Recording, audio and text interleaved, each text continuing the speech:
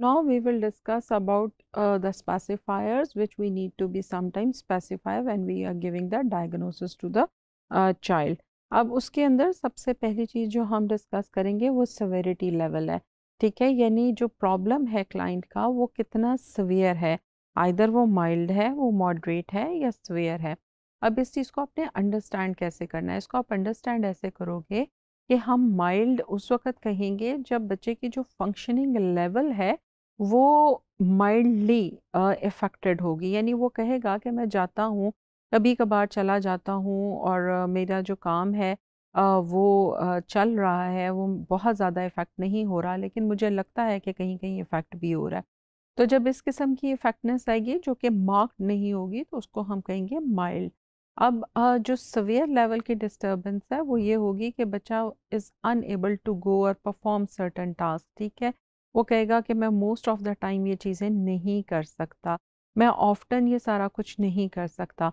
तो जब वो ऐसी बात आपको कहेगा कि जिससे आपको ये लगे कि उसकी तो लाइफ डिसफंक्शनल हो रही है तो उसको हम कहेंगे कि ये सवियर लेवल का प्रॉब्लम है। बट अगर वो ये कह रहा है कि half of the week I went half of the week I don't the task is like given like 10 times I am able to perform 6 times, sometime 4 times so that's mean के जो उसकी जो nature of problem है at the moderate level.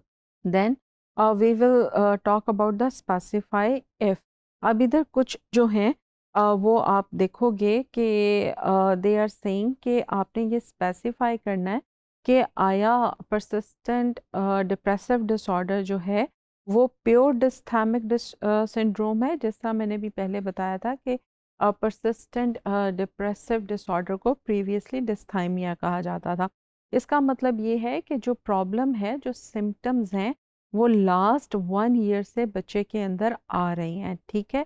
और उसके अंदर कोई episode जो है, वो डिप्रेशन का नहीं आया, ठीक है? उसके बाद जो नेक्स्ट है that is the persistent major depressive disorder यानी इसका मतलब ये है कि जो बच्चे का प्रॉब्लम है, वो मेजर डिप्रेसिव डिसऑर्डर की जो सिम्टम्स हैं वो लास्ट वन ईयर से जो है वो पर, उसके अंदर प्रिवेल कर रही हैं। यहाँ पर आपने एक चीज़ का ध्यान रखना है कि यहाँ पे टू ईयर का जो पीरियड है ये रेफ़र कर है एडल्ट को। बच्चों को के लिए ये रेफ़र करेगा वन ईयर ठीक है?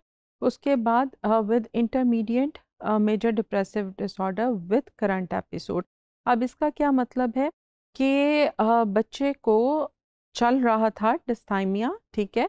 और उसके दरमियान में उसको मेजर डिप्रेसिव डिसऑर्डर का एपिसोड आया, जो कि करंट एपिसोड है, जिस कंप्लेंट्स के साथ वो आपके पास आया है। फॉर एग्ज़ाम्पल एक बच्चा है, उसके पेरेंट्स रिपोर्ट कर रहे हैं कि पिछले पंद्रह दिन से ये कुछ खा पी नहीं रहा, इसकी क्राइंग स्पेल्स ख़त्म नहीं हो रही, इसकी सेल्फ इस्टीम बहुत ज़्यादा लो हो रही है ये बहुत कम सो रहा है, इसका मूड हर वक्त सैड रहता है, अग, और ये पिछले पंद्रह दिन से हो रहा है, ठीक है? और फिर आप जब पूछते हो कि पिछले एक साल से या डेढ़ साल से या छः महीने से उसका मूड कैसा था?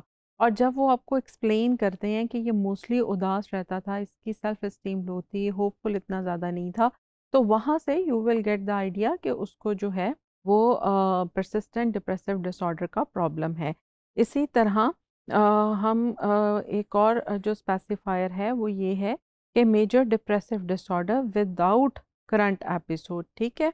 आ, इसका मतलब ये है कि एक साल जो पिछला था उसके अंदर बच्चे को परसिस्टेंट डिप्रेसिव डिसऑर्डर भी था और उसके साथ कहीं पे एपिसोड उसकी मेजर डिप्रेशन की भी थी। अब इसको आप इस तरह समझ सकते हो कि पेरेंट्स आपके पास आए हैं and they are reporting you के फ्रॉम लास्ट वन ईयर जो बच्चा है उसका मूड लो है वो सैडनेस फील करता है किसी चीज़ में प्लेयर फील नहीं करता मोस्टली घर रहता है, लोगों से मिलता जुलता नहीं है, ज़्यादातर ना उम्मीदी की बातें करता है। If the client is reporting like that और आप फिर उससे ये पूछते हो कि अच्छा कभी ऐसा हुआ कि किसी 10-15 दिन में इसका मूड बहुत ज़्यादा जो है वो सैड रहना शुरू हुआ या लैक ऑफ़ प्लेयर बहुत ज़्यादा हुआ?